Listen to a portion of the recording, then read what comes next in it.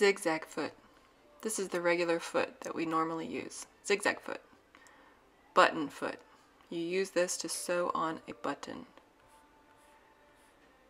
Buttonhole foot. Buttonhole foot. Here's the buttonhole foot with a black button in its place.